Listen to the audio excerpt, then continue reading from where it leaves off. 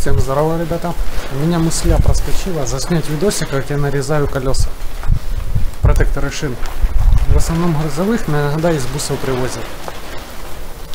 Так вот, сейчас я вам покажу наглядный пример, как я режу, чем я режу. Допустимые нормы все соблюдаются, колесу хуже не становится. Грузоподъемность, конечно, меньше чуть встает. Ну, потому что корду э, в проволоке, получается, углубляемся. Вот такое колесо. Лысое.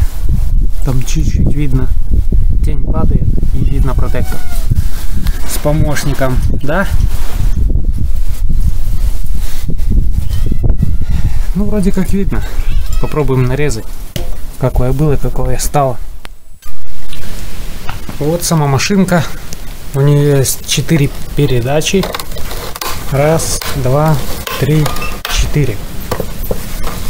Передачи это сила тока. Она работает за счет вот таких вот такой херни. Оно прижимается. Ну, придавить я сейчас не могу. Замыкаются контакты и нагревает лезвие. Вот само лезвие. Откручиваем здесь, выставляем глубину протектора, ширину. Ножи разные. Ну, на то колесо будем самым тонким резать. Вот. 10 долларов, по-моему, стоит упаковка ножей. Есть всего 4 вида. Или 5, не 5 видов, по-моему, ножей. От самых тонких до самых широких. Мы, кстати, занимаемся нарезкой грузовых шин по каховке. У батика масс нарезанный, у меня нарезанный.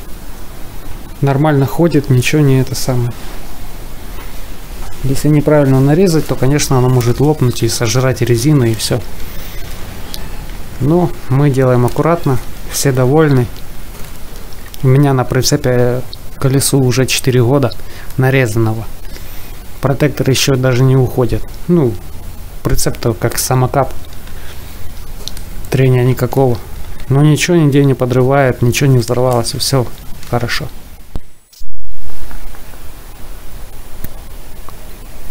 Вот она полностью лысая. Ну, человек попросил нарезать, сказал на запаску. Хотя бы для вида сказал.